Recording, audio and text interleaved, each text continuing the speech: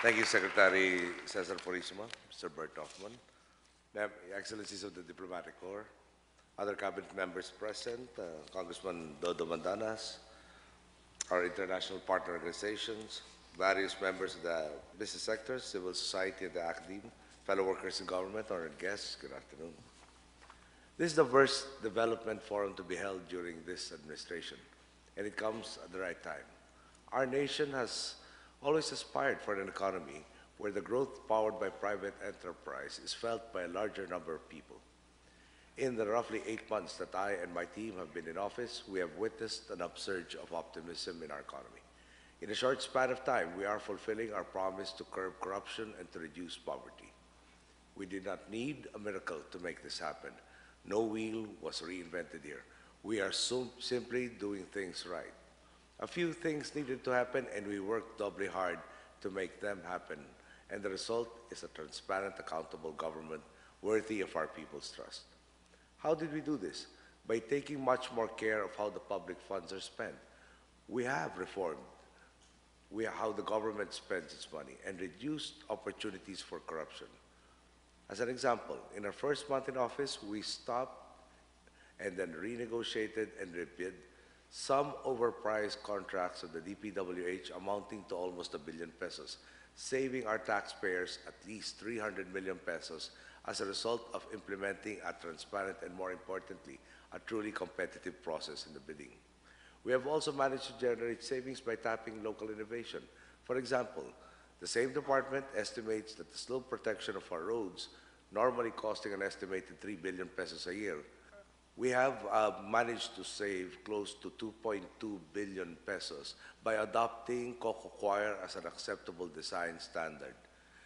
This has significantly reduced our expenditure for the said endeavor. And all this has been made possible by the inherent creativity of Filipinos. We have also implemented a zero-based budgeting approach to ensure the efficient use of public resources. Budget items are now thoroughly evaluated in order to determine their relevance, effectiveness, and vulnerability to leakages. Programs that were not delivering were terminated, and those that were working enjoyed even more funding. At the beginning of this year, government-owned and controlled corporations and financial institutions remitted over 29 billion pesos in dividends to the national treasury, almost triple the amount of the previous year's revenue. However, in keeping with our commitment to stamp out profligacy in government, we issued Executive Order Number 24 to put an end to exorbitant allowances and perks in government-owned and controlled corporations and tie their compensation to their performance. All of these efforts have freed up resources so we could increase investments in social services to alleviate poverty. We have increased spending on social safety net programs such as the conditional cash transfer and the expanded PhilHealth programs to give immediate, direct, and substantial benefits to our citizens. We will be helping more than twice the number of families through conditional cash transfers from today's 1 million households to a total of 2.3 million households by the end of 2011. We have also affirmed our commitment to basic education, providing them with the biggest budget increase in a decade. This allocation will go toward providing the resources our students need the most, building classrooms, and more importantly, hiring new teachers. As you heard earlier today, convergence is a key development strategy. The collaboration of efforts and resources for social protection, poverty reduction, healthcare, education, and development of rural economies will ensure maximization of resources for greater impact. From encouraging communities to actively participate in their barangay development, as we do in the Kalahi CIDSS areas, to ensuring that agencies pour their resources into the communities that need them the most, as we are doing with our national household targeting system and the identification of beneficiaries for both conditional cash transfer and PhilHealth expansion, and in ensuring that peace and development goals are addressed hand in hand as we are doing through the Pamana program. We can tell you with confidence that this is a government that works, works together, and is willing to work with you.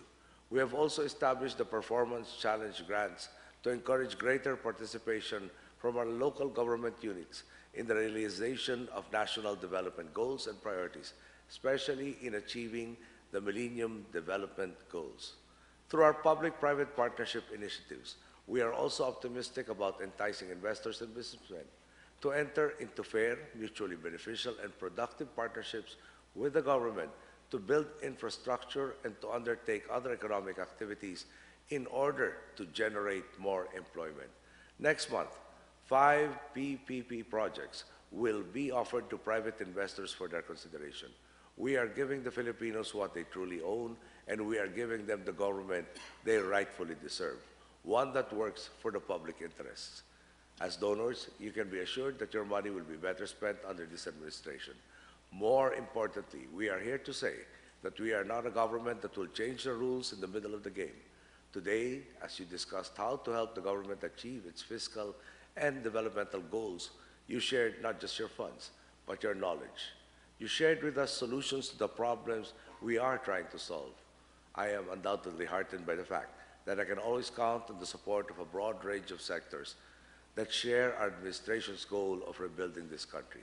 Today, through your trust and confidence, and through your expression of solidarity with our agenda of hope, you are helping us inch closer to true development.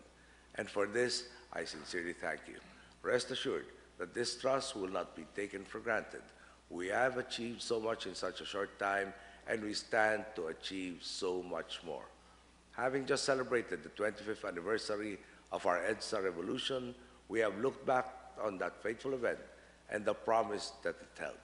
In many ways, it is the same promise that is being made in Tunisia and perhaps in Egypt today. But more than just looking back, EDSA allows us to look forward to the day that the benefits of a prosperous society are felt by most of our citizens and not just by a few. And that is exactly what we are working for, that one day.